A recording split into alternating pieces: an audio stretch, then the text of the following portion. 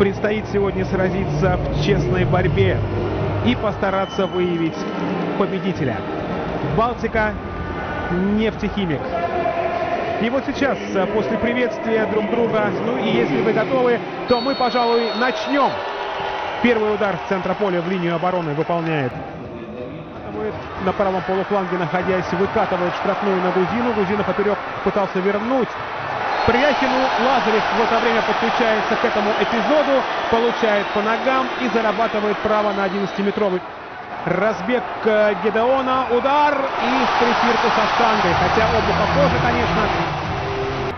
Решили вот так разыграть. И завершающий удар в дальний угол направлял с правой Лазарев.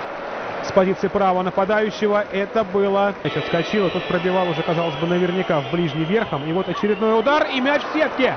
Мираби Уридия сравнивает счет в этой встрече ударом головы. Он же невысок. Атакует нижнекамцы, пас в штрафную. И будет ли удар?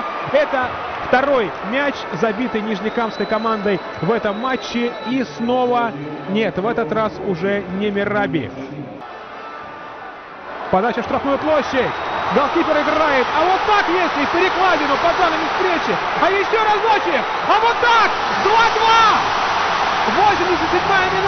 87-я минута. Это ли не выход Баркова? Это Барков. Какая сутолока и суета была сейчас в площади ворот нижнекамской команды. Я чуть не потерял голос, уважаемые друзья. Все, арбитр уже устал, и мы с вами тоже, давайте признаемся честно, уважаемые любители футбола,